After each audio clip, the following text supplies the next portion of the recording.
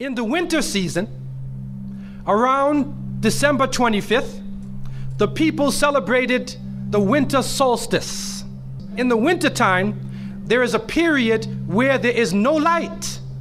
You are literally in darkness 24 hours of the day.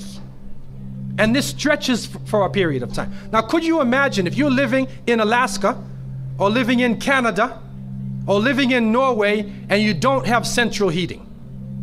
And the cold is outside, it's darkness around you. People are dying from disease. It's a terrible time, and, and every family would probably lose somebody, or they would know of somebody dying from the cold and disease during that season. This is the winter solstice. And so when the sun starts to come out, the people now are looking at the sun as a life giving force. And so during that time, a number of ceremonies were held in northern countries. Also in the north, they recognized that there was one tree that even that despite the cold would still remain alive. The evergreen tree, the fir tree. And so in some cases they would take this fir tree believing that there was powers of life within the tree and they would put it in their homes. Set it there and put a light on the top of it or burn them in the front, or they would make mistletoes and put them over their doorways, a type of what we would call ta'wiz or tamima. It is an amulet. And they would hang the amulet over their doors, hang the amulets in their home, hoping that this fir tree, that this so called life giving force, would protect them from the danger of the winter. And so their ceremonies developed around this. We also find in the ancient uh, northern countries, they had a secretive cult that spread throughout the far northern countries. One of the interesting individuals, and you can look this up if you can find it in the dictionaries or encyclopedias, is a man called Mithra or Mithras. This is a very mysterious character. And when you look at history, you find that this uh, individual called Mithra was born on December 25th, his day of the week was the seventh day of the week, that we still call Sunday.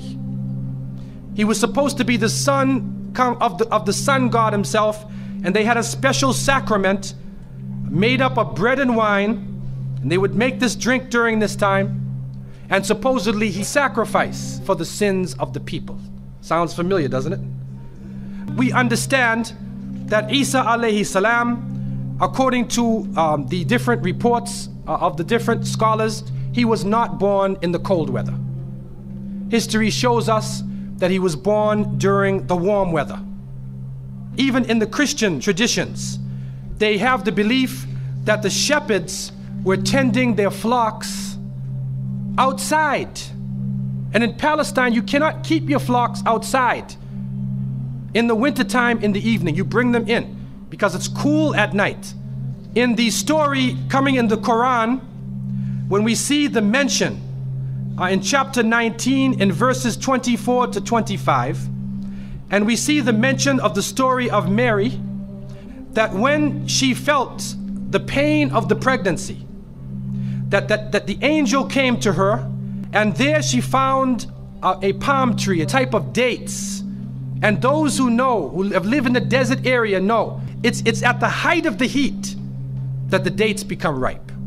And so it's at that time that she gave birth to Isa alayhi salam. So from different points of view, different historical points of view and different religions, we understand that Isa alayhi salam was not born during the winter season. According to historical sources, 1647, it was prohibited in England to celebrate Christmas. The Christian church banned it because they saw Christmas as being a pagan holiday.